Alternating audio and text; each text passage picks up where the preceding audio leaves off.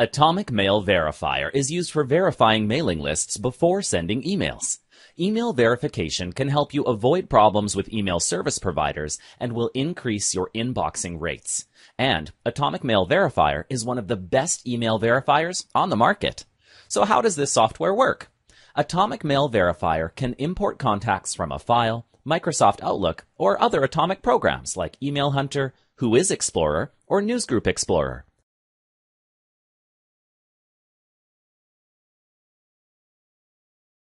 The program has three verification steps email syntax check, domain name check, and email verification. Click Verify to start the verification process.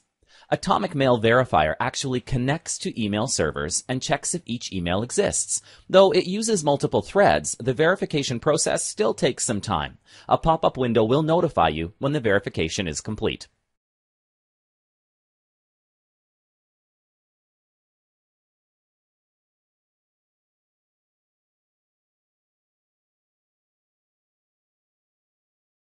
There's a log window on the right where you can check the reason why a particular email is valid or not valid.